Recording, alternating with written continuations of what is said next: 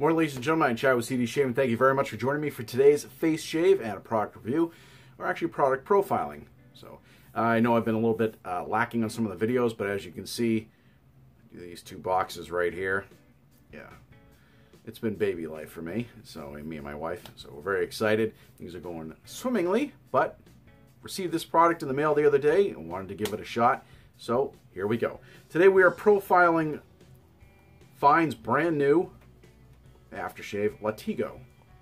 Now this is based off of a, uh, a, uh, a, cologne that I cannot pronounce the name of. We'll, we'll go over that a little bit. But anyway, this is the box that it comes in here. And as you can see, there's their traditional bottle.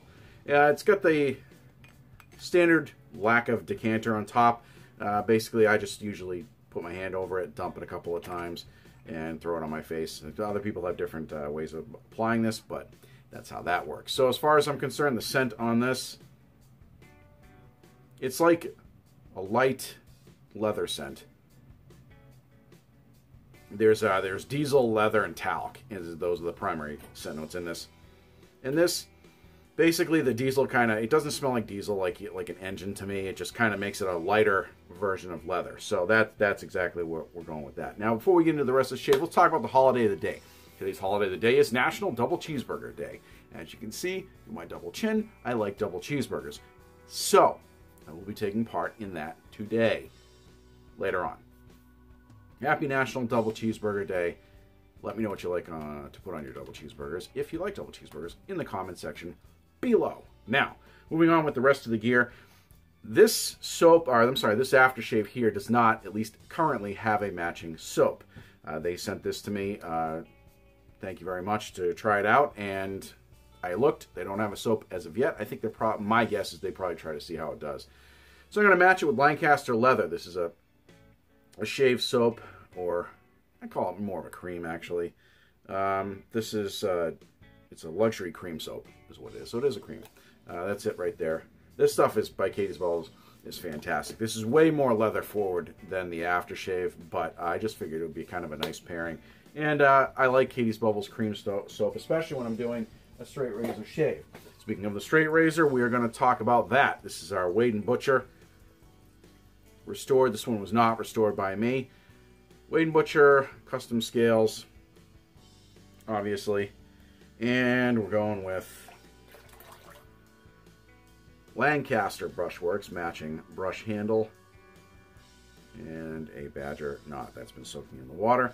So we've got our soap pressed in our bowl, way more than we really need. Although we also don't want to forget, we always have the peach scented witch hazel that we're going to be using to treat the face afterwards as well. And I've used Fine's aftershaves. They work fine by themselves. I just always like to throw witch hazel on my skin. Uh, it's a definite benefactor to it. It's something I've always done, and I will continue to do. So that's the gear. That's the setup. We're going to take a minute, load this brush, actually load up the soap and make it lathered. That's the word we're looking for, lathered. So we're going to lather it, get it ready to go, get this shave happening. In the meantime, take a look at this. Fine has been making products for a while now, and you would be hard pressed to find a wet shaver who has not at least heard of them. Their aftershaves are a bit more famous than their soap. What with products like Snakebite and American Blend, they have hammered their way into the wet shaving aftershave scene.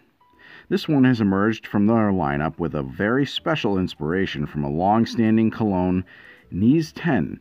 Notes of leather, talc, and diesel with a tad bit of menthol makes this a perfect addition to their product offering at $20 per bottle. It can be had right at their website at fineaccoutrements.com. A fine hat tipping to a classic scent with a masculine flair. All right, ladies and gentlemen, we are back. Here's the soap, rocking and rolling, ready to go. Go ahead and apply this. Got that nice smoky scent coming out on this. So, when I was loading, or not loading, when I was making the lather, I kind of lost my focus and I uh, added way too much water to it. it way overloaded it. But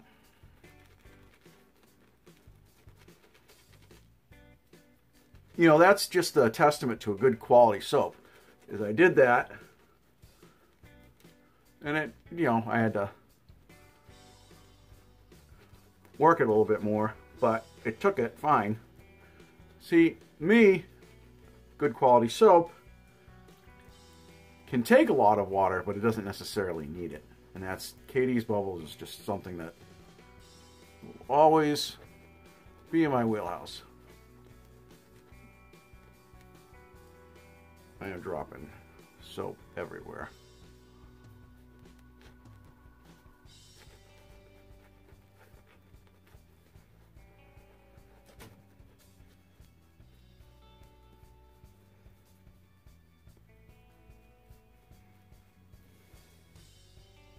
Now, talk about this video. I could have skipped to the part where it was just the aftershave. Strictly talking about the aftershave. However, I haven't done a ton of videos lately. And there are people out there who like to see the shave.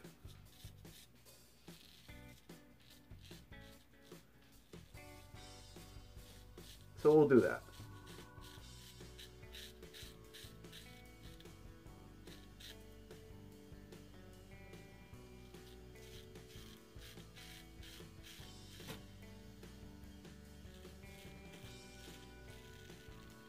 Now, fine has been around. That point gets me almost every time.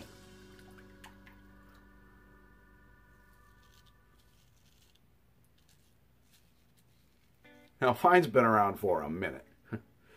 That's a rhetorical, I mean, a uh, sarcastic response. It's been around for a little while.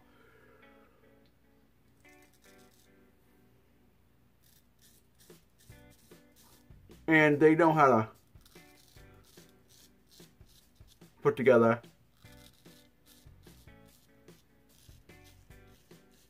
a nice aftershave, in my opinion. Is it the best on the market? No.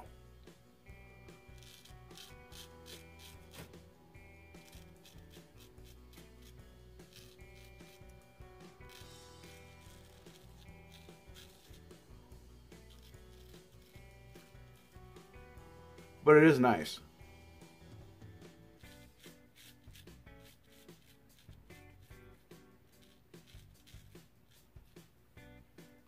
And if you're looking for something to add to your shave then, that you've never tried, they've got a couple of different scents that are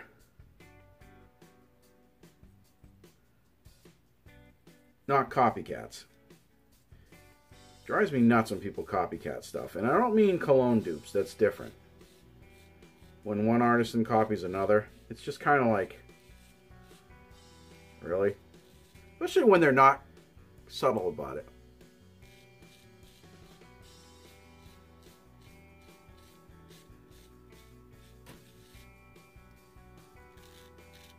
I caught something the other night on a website, which I'm not going to get into, where I saw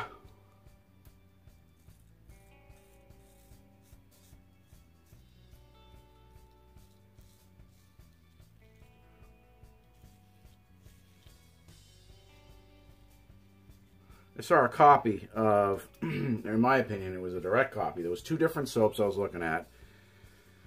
And even the name was similar to the original artisan. I mean, it's kind of like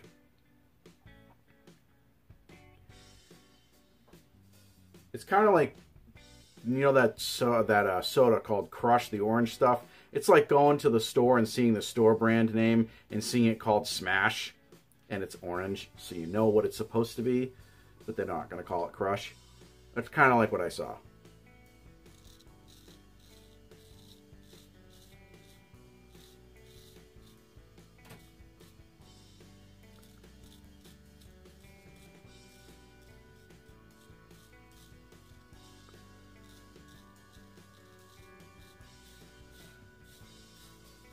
Anyway.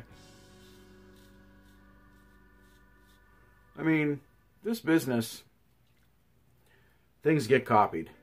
Happens in every business. Cars, food, It all happens.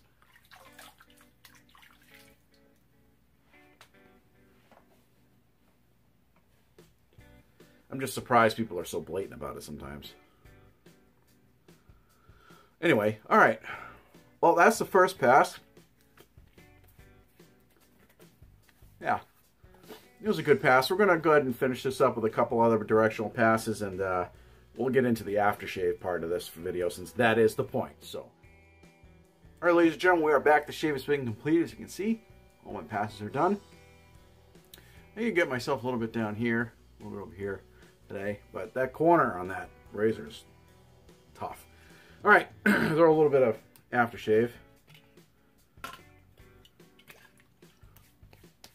Or after the shave. This is just witch hazel.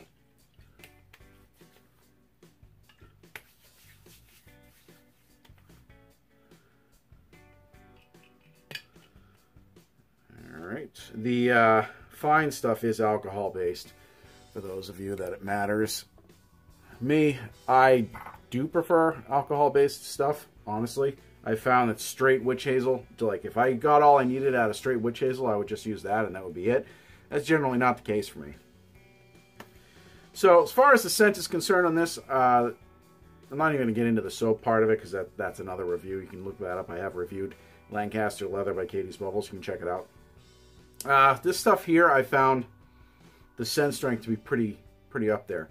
This is one of those scents that you can pretty much wear anywhere. There's a few cologne scents that I have that are great for like date night. They're great for being, you know, around your friends and stuff, but you know, it's not something you would really want to wear to a gathering where the attention is not really necessarily on you. Um, this is one of those. You can wear this to a gathering where the attention is not necessarily on you or anywhere really.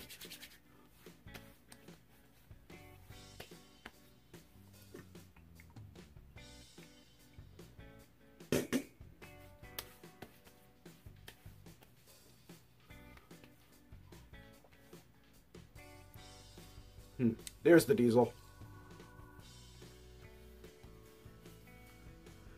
It's nice, and it's got a like a, it says here, and um, I've said it before, it has a touch of menthol in it.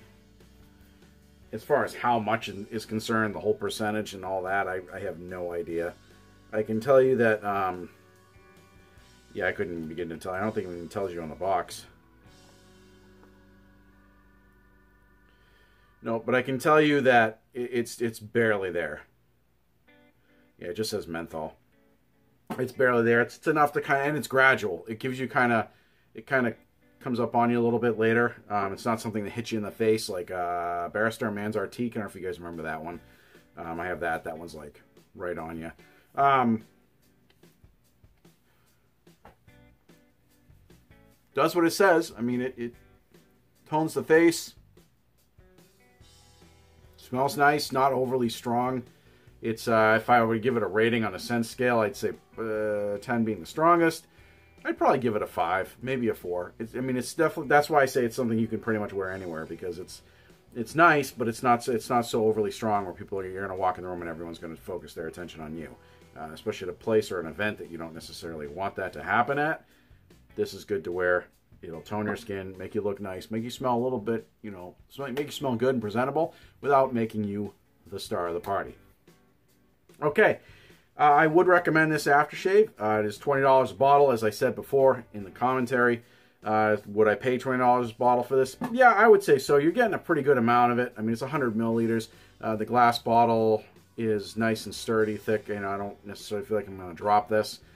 Uh, however, it would be nice to have some sort of a knurling on the side like um, PAA has, so you can hold on to it.